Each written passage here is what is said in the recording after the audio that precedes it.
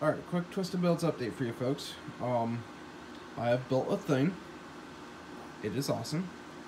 Um, and it is so far relatively pass, passing bench tests, if you can't tell by what it might be. Uh, that is a Bosch 4.9 sensor.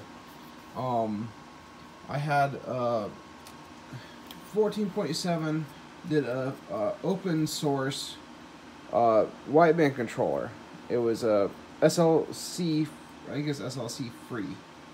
Um, and it is a open source wideband controller that he openly gave out the firmware for, and all the schematics to make it work. And I went to town and had my own boards designed. Um, finally got I got these in I think it was Thursday. I finally got to working on them today, and found out there's one blimp on this board that's wrong. So I only had five of these made because they're prototypes, which is you know, isn't a big deal. But um, I, the next round I'll have it corrected.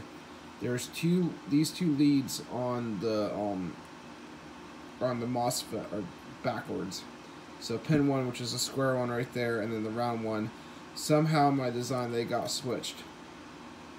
So because of that, um, I'm gonna use this one for uh, pretty much on-car testing to make sure it works before I get more boards made up. But uh, obviously I won't be releasing these boards directly, it'll be after I get the new ones in.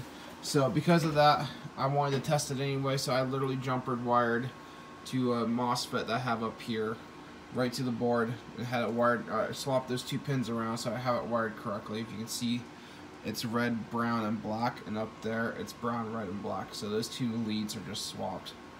So I'll have to swap them on the design and that won't be a big deal and uh, get more boards made. But uh, my big thing was uh, figuring out how to uh, flash them. And I finally got everything. You had to. I had to get a special uh, Cypress programmer, and uh, I was able to get the firmware off of 14.7.com's website, and I flashed the thing on the program header, which is right here, and right there and flashed the chip and she'd be working. So this is an amp seal connector. That's something else on the next board revision. I may be changing connectors because this one's not as easy to put together as the Speeduino connectors you've seen me do.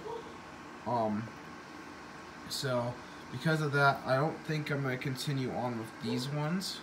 I will probably swap to a different style connector. Um, I may keep them, I'm not sure.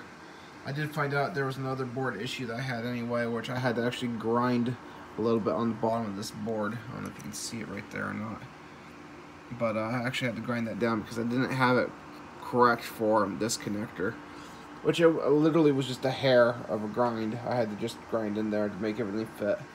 Um, that'll be corrected on the next boards. If I still stay with this amp seal, I think I may go with a different amp seal connector. Um, just because of ease of uh, assembly. That one's a little hard to do, but uh, it's a nice connector. It's let me get it. Oh, it's also really hard to get off and on. I'm not gonna break it. So um, again, I'm not sure if I'll stick with that one. It does work if I had two hands, but one hand's holding the camera right now. So I'm going to sit you guys down, or yeah, I'll sit you down for a second. I'm going to, uh, or maybe I'll put you right here. And I am going to hook up the power to this. I want to show you guys the voltmeter as fast as I can. So, power. Okay, it is, if you can tell, it's got high amperage because it's warming up the sensor. And that's about halfway through the, the reading. It's a little low. And then it rises up. So that's the 0 to 5 volt output for uh, 10 to 20 AFR on these deals. So now it's at 20 AFR.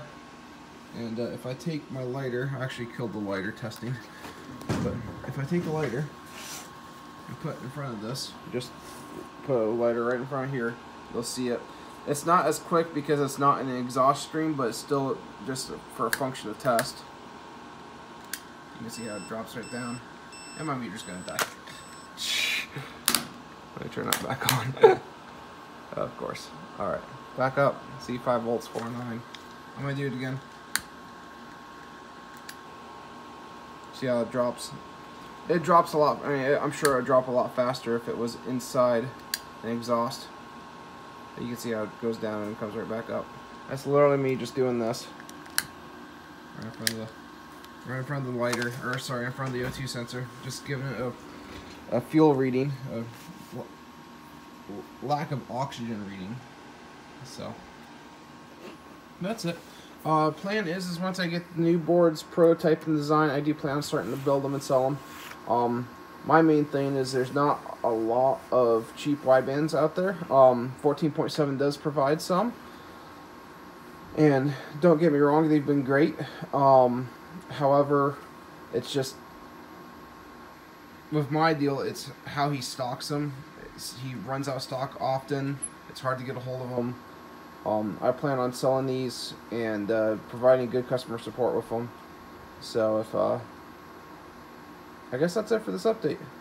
Um, if you have any questions or comments, please uh, comment away or email me at dale at twistedbuilds.com. And um, thank you for watching. Bye.